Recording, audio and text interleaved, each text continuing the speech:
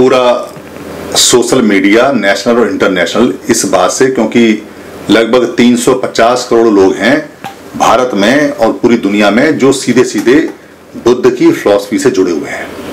इसके अलावा जो यूरोप के अंदर, या ऑस्ट्रेलिया के अंदर, या अमेरिका के अंदर, या लैटिन अमेरिका में, या अरब कंट्रियों के कुछ जानकार लोगों में भी। ये बात और एशिया के तो सारे देश हैं ही बुद्ध की हर एक बात भारत में जो भी घटना होती है, उस पर उनकी आँख नाक कान लगे रहते हैं। वो लोग बहुत ज़्यादा रिसर्च करते हैं क्योंकि उनके पास में संसाधन और पैसा है। भारत के लोग जो बुद्धिस्ट हैं, जो क्योंकि अशोक के समय तो ईरान से लेके और पूरे बर्मा तक सारे लोग यहाँ बुद्ध को जानने वाले और बुद्ध की फिलोसफी थी। तब तक कोई इस्लाम तो था नहीं यहाँ और ना ही कोई ईसाई थे। ये तो पैदा भी बाद में हुए हैं, क्योंकि मोहम्मद साहब का जो जन्म है, वो चौदह साल पहले का है।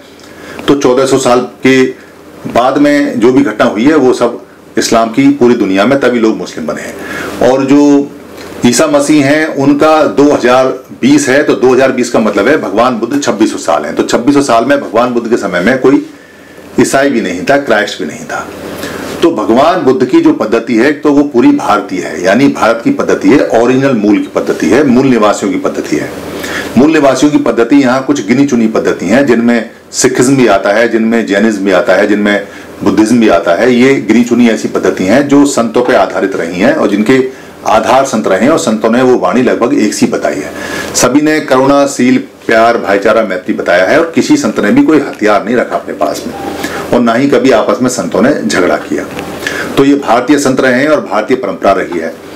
इस भारतीय परंपरा में जो बुद्ध की परंपरा है, वो सारी दुनिया में फैली। उसका कारण चाहे तो अशोक रहा हो या उनकी पद्धति में इतना दम है कि लोग उसको अडॉप्ट करते चले गए।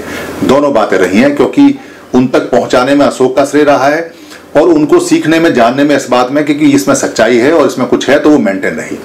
अगर अशोक ने भेजा भी होता और अगर बात में दम ना होता, बुद्ध की बात में दम ना होता और सच्ची ना होती तो कोई अडॉप्ट भी नहीं करता। खत्म हो जाती अब तक। और अशोक ने अगर ना भी भेजा होता, जैसे आज के समय में अशोक तो है नहीं भेजने के लिए, जो सम्राट अशोक है वो है नहीं, उनको तो गए हुए बहुत साल हो गए। तो अभी भी ये सारी दुनिया में जा रही है और सम्राट अशोक के टाइम में तो अमेरिका था भी नहीं। तो जब अमेरिका था नहीं और फिर अमेरिका में भी ये पहुँच गई है, यानी जो समुद्र पार है वहाँ भी जा रही है तो इसका मतलब फिलोसफी में दम है, सच्चाई है, बात में सच्चाई है। सम्राट अशोक ने चौरासी हज़ार चैत्य, स्तूप, शिला, खंड किताबें और धमलिपि में जिन्हें क्या क्या लिखवाया, सारा धम लिखवाया। जो अधम्मिक लोग थे, उन्होंने उनको तोड़ा, मारा, काटा, पीटा। मगर अधम्मिक लोगों का भी मानसिक रूप से पतन हो गया और वो पाप के गर्त में फंस गए। कोई किसी की विचारधारा या मान्यता से अगर नफरत करता है तो वो सबसे पहले अपने आप से नफरत करता है। इस बात को आप सीखें, इस बात को आप समझें कि अगर मैं आपकी विचारधारा से नफरत करता हूँ तो वो नफरत मेरे अंदर है, विचारधारा में नफरत नहीं है। मैं करता हूँ तो मेरे अंदर है। अगर मैं आपका घर तोड़ता हूँ तो घर तोड़ने का जो पाप है, जो नफरत है, वो मेरे अंदर है, घर में नहीं है।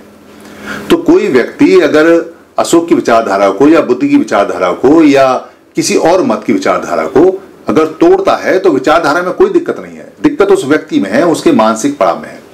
भगवान बुद्ध ने तो कभी जीवन में किसी का बुरा किया नहीं। और दुनिया का कोई आदमी ये कह नहीं सकता कि वो परफेक्ट नहीं है। एक कमी नहीं है उनकी पूरी लाइफ हिस्ट्री में। एक सिंगल कमी नहीं है। कोई अगर ये कह दे कि एक रत्ती भर का सुई का भी कमी है तो भगवान बुद्ध का पूरा धम उसके लपेटे में आ जाता। एक सिंगल कमी कोई नहीं बता सकता उस संत के अंदर, उस व्यक्ति के अंदर, जो शुद्ध हो गया, परिशुद्ध हो गया, हंड्रेड परसेंट प्योर हो गया। फिर भी लोग अगर उससे डरते हैं, लोग उससे परेशान रहते हैं, अगर उसके आल्यों को, उसके शिवालयों को, उसके जो भवन हैं, या जो उसके मंदिर हैं, या जो उसके विहार हैं, या जो उसके आराम हैं, उनसे अगर डरते हैं, ईट पत्थरों से डरते हैं, उसकी फिलोसफी से डरते हैं तो बेसिकली बुद्ध का तो कुछ डरने वाला है नहीं, वो अपने पाप कर्मों से डरते हैं। उनके अंदर इतने पाप कर्म हैं कि वो पाप कर्म अच्छाई को बर्दाश्त नहीं कर पाते और वो रात भर कांपते हैं और डरते हैं और सुबह को पत्थरों को जाके तोड़ आते हैं, पत्थरों से जाके अपना बैर निकाल आते हैं। तो उनका डर इतना ज़्यादा है, उस संत से जिस संत ने आज तक कभी एक चीटी न मारी हो और कभी को किसी को मारने के लिए कहा भी ना हो, जो करुणा का पूरा पूरा सागर रहा है। ये बात आप इस पर समझें। तो उसके अगर कोई चिन्ह निकलते हैं ज़मीन से, क्योंकि निकलेंगे चौरासी हज़ार हैं, पूरे भारत में, ईरान से लेकर यहाँ तक सब जगह मिलते हैं। पूरे पाकिस्तान में मिलते हैं, पूरे अफ़गानिस्तान में मिलते हैं, पूरे नेपाल में मिलते हैं। श्रीलंका तो भरा पड़ा है, बर्मा है, थाईलैंड है, लाओस है, अब तो पूरी दुनिया में है। सब तरह में यहाँ तक कि अफ्रीका के अंदर भी ब्लैक भिक्कू आ गए हैं, क्योंकि उनको ये अच्छा लगता है, सच्चाई से, करुणा से, वो सुख लेना चाहते हैं, सुख प्राप्त करना चाहते हैं। तो भारत के सारे लोग भी कभी बुद्धिस्ट थे, क्योंकि जब ईरान के थे, इराक के थे नेपाल के थे, पाकिस्तान के थे, जो आज के समय में अलग अलग हैं। उस समय तो अशोक के समय वृद्ध भारत में एक ही हुआ करते थे। तो सारे लोग यहाँ और कोई पद्धति थी भी नहीं तो वही पद्धति वो अपनाते थे। तो सारे लोग वही थे। मगर किसी आदमी ने भी कभी ये दावा नहीं किया कि भाई सारे लोग बुद्धिस्ट हैं और सारे लोग बौद्ध को मानने वाले हैं। अब क्यों नहीं मानते? लोगों की मर्ज़ी है, लोगों की चॉइस है। जो उनका अच्छा लगे करें, ये तो जीवन का एक तरीका है, जो बुद्ध ने बताया है। ज़बरदस्ती तो कभी किसी को बुद्ध ने कोई फिलोसफी सिखाई नहीं, और इसमें है भी क्या? आपको शुद्ध होना है, मेहनत करनी है, कोई आपको पैसा तो मिलना नहीं है, आपको संसाधन तो मिले नहीं है, आपको कोई राजपाट तो मिलना नहीं है।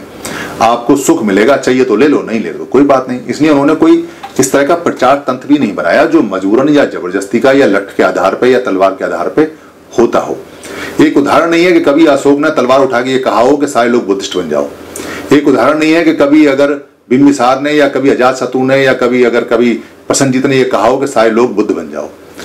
मान्यताएँ सबकी उस समय हेल्दी थी, जिसको जो मानना है वो चले। बहुत सारी मान्यताएँ बुद्ध के समय भी थी।